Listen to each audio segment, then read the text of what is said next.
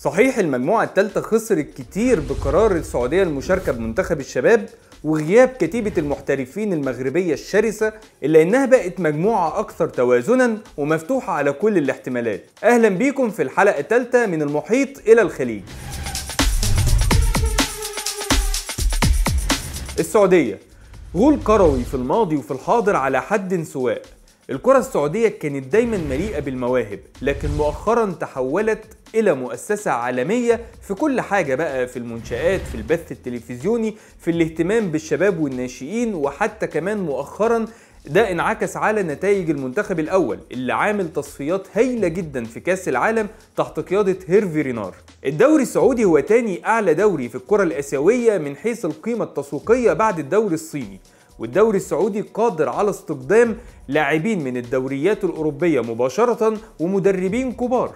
بطل آسيا هو الهلال السعودي. كل ده انعكس على المنتخب الأول اللي ماشي بشكل كويس جدا في تصفيات كأس العالم تحت قيادة هيرفي رينار. وصحيح إن منتخب السعودية قرر إنه يشارك في البطولة بمنتخب الشباب إلا إن ده مفيد جدا للكرة السعودية حتى لو مضر فنيا بالبطولة لأن منتخب السعودية بيقدم جيل جديد بيديله الفرصة يحتك بمستوى أقوى وفي نفس الوقت بيحافظ على لاعبي المنتخب الأول من الإجهاد. يعني الكرة السعودية بقت مثال مفترض إن هو يحتذى به من كل الاتحادات العربية. حتى فريق ال social media في الاتحاد السعودي لكرة القدم خلد لينا كل ذكريات ومشوار المنتخب السعودي في تصفيات كأس العالم بفيديوهات قصيرة أبرزت نتائج عظيمة جدا وصل ليها منتخب السعودية.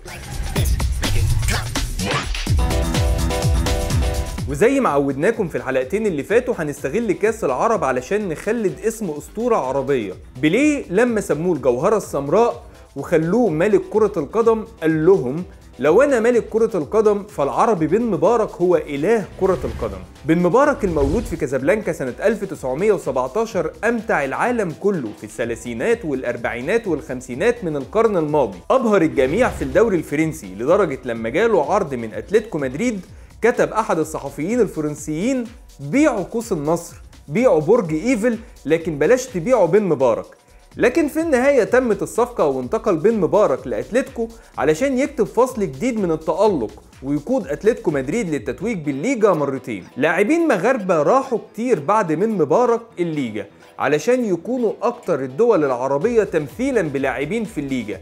لكن في النهاية هتظل أسطورة بن مبارك حاجة خالدة هنفضل دايما نفتخر بيها إن هي مرت على الليجا. في نفس المجموعة يتواجد المنتخب الأردني العزيز جدا على قلوب المصريين. وإحنا كمصريين بنعتز بالمنتخب الأردني علشان بنحس كده يعني بشكل أو بآخر إن إحنا مساهمين في إنجازات الكرة الأردنية. لأن الجنرال محمود الجوهري هو اللي قاد منتخب الأردن لكأس آسيا لأول مرة سنة 2004 وقدر إن هو يوصل بيهم لربع النهائي ويخرجوا بصعوبة بالغة قدام اليابان المنتخب الأسطوري بركلات الترجيح. العمل الكبير اللي قام بيه الجوهري مش بس بيتلخص في العمل الفني اللي قدمه مع المنتخب الجوهري كان مدير فني للاتحاد الأردني لكرة القدم. بعد كده وقدم أدوات تدريبية جديدة لمنتخب الأردن ونقل الالتزام والجدية للاعيب الأردن علشان يساهم في بناء منتخبات جديدة بعد كده. والجوهري عزيز على قلوب الأهلاوية والزملكاوية وعزيز على قلوب المصريين كلهم بسبب إنجازاته مع منتخب مصر. وبرضه أكيد عزيز على قلوب الجمهور الأردني بسبب العمل الكبير اللي قام بيه سواء مع المنتخب أو الاتحاد الأردني لكرة القدم. وعشان نختم أطراف المجموعة دي لازم نتكلم عن المنتخب العزيز على قلوبنا جميعا كعرب منتخب فلسطين. منتخب يستحق التحية على كل اللي بيقدمه من المحيط إلى الخليج. وفلسطين لازم تمر برحلة من المضايقات والاستجوابات التعسفية علشان لاعبيها يعملوا حاجة بسيطة جدا بالنسبة لأي منتخب تاني في العالم. ينضموا لمنتخب بلادهم. علشان كده خلونا في نهاية الحلقة نرفع القبعة لكل لاعب مثل منتخب فلسطين وارتدى قميصه.